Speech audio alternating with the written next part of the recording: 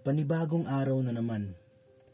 Isang bagong simula ng iyong buhay na kung saan ikaw ay nakakulong sa tipikal na siklo ng iyong araw. Ako, sinisimulan ko sa mainit na kape. Ngunit bakit parang may nag-iba? Yung tipong ang normal na araw ay nabalot ng maraming katanungan. Pero kailangang ihanda ang sarili sa isa na namang mahabang paglalakbay. Paglalakbay na kung saan hindi mo alam ang katapusan. Kung ikaw ba'y mabibigo o magtatagumpay.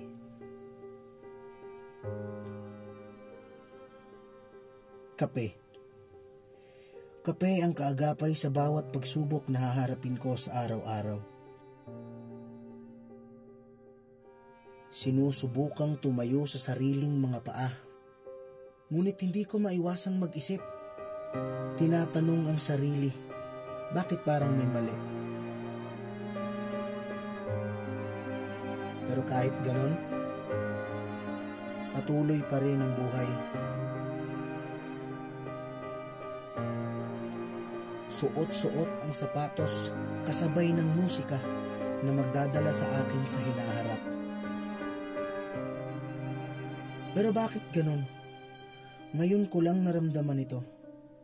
Pakiramdam na naririnig mo lang ay ang sarili mong mga yapak at sa bawat milya na iyong tinatahak, ikaw ay dahan-dahang lumalayo sa nakaraan ngunit hindi alam patutunguhan.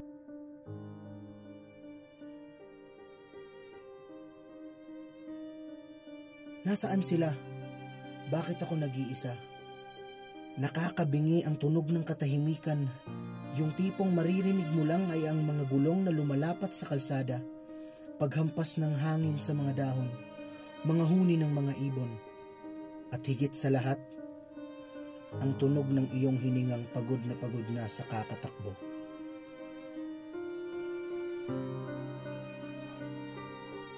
Minsan, darating tayo sa punto ng pagsuko. Lahat ng bagay ay gusto mo nang ihinto. Hinto? Di ka dapat huminto dahil lang sa problema. Tatandaan mo lagi na may darating na bagong umaga, bagong pag-asa. Pag-asa ang magbibigay sa iyo ng lakas, tapang at sagot sa iyong mga katanungan.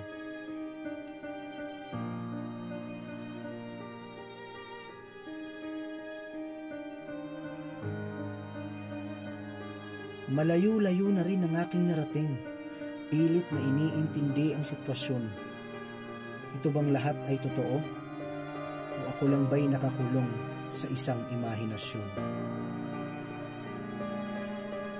Ngunit bago pa man ako makaalis, isang tawag ang pumutol sa aking mga plano. Isang balita mula sa aking kaibigan na sumagot sa aking mga katanungan. At ang mensaheng iyon ay hindi lamang para sa akin, ngunit para rin sa kaligtasan ng lahat. At ang kwentong ito ay tungkol sa ating buhay na mga bayani na patuloy na nakikipaglaban upang mapigilan ang pagkalat ng pandemya na ito. Nariyan ang ating mga doktor at iba pang mga kasapi sa larangan ng medisina na pinapayuhan tayong manatili sa ating mga tahanan sa loob ng dalawang linggo. Magbigay galang tayo sa ating mga sundalo at pulis na nagpapatupad ng mga batas at nariyan din ang buong kasapi ng ating gobyerno. At sa lahat ng mga bumabatikos, walang perpektong organisasyon. Malawak na pag-unawa ang kinakailangan at higit sa lahat, matinding kooperasyon ng bawat mamamayang Pilipino. Sa lahat ng frontliners, maraming salamat.